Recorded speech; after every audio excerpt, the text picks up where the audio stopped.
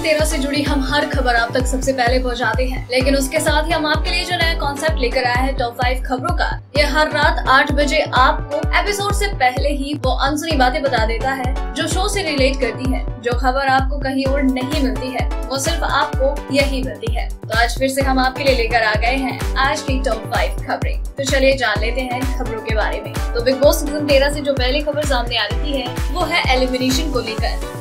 जी हाँ वीकेंड का बार को एलिमिनेशन होता है, लेकिन इस बार ऐसा कुछ नहीं होगा। इस बार वीकेंड का बार को एलिमिनेशन नहीं होगा, बल्कि मंडे को होगा, क्योंकि वोटिंग लाइंस ओपन नहीं है और विदाउट वोटिंग लाइंस ओपन हुए कोई वोट नहीं हो सकते और विदाउट वोटिंग कोई भी घर से बेघर नहीं हो सकता। इसलिए मंडे को एलिमिनेशन होगा, क्योंकि वोटिंग लाइंस तभी खुलेगी। उसके बाद जो दूसरी खबर सामने आ रही है, वो ये है कि सभी घर वालों ने बिग बॉस से कहा कि उन्हें यहाँ पर नहीं रहना है और बार बार में बिग बॉस की बातों का विरोध करते हुए नज़र आए। तो बिग बॉस ने भी घर का दरवाज़ा खोल दिया और उनसे कह दिया कि जिसे जाना है जाए, जिसे रुकना है वो रुके।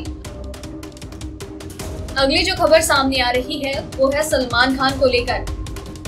दरअसल सलमान खान वीकेंड का बार पर सभी घर वालों ऐसी बहुत ही गुस्सा और नाराज़ दिखे और उन्हें खूब डांट फटकार लगाई, क्योंकि वो लोग एक दूसरे के साथ फ़िज़िकल हो रहे हैं बिग बॉस के घर की चीज़ों को डैमेज कर रहे हैं और वो सभी को जमकर फटकार लगाते हुए नज़र आए। इसके बाद जो अगली खबर सामने आ रही है, वो है घर के अंदर से।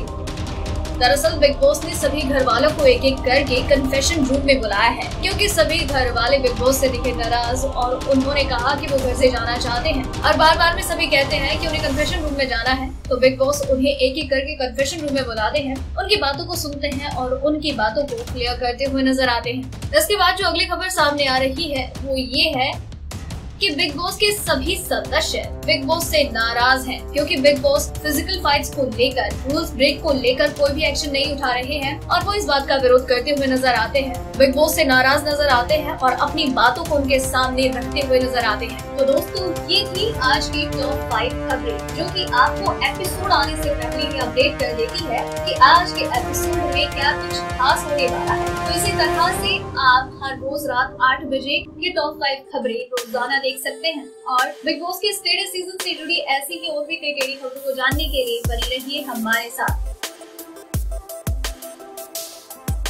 सब्सक्राइब करें हमारा चैनल ऐसी ही लेटेस्ट और इंटरेस्टिंग न्यूज़ के लिए।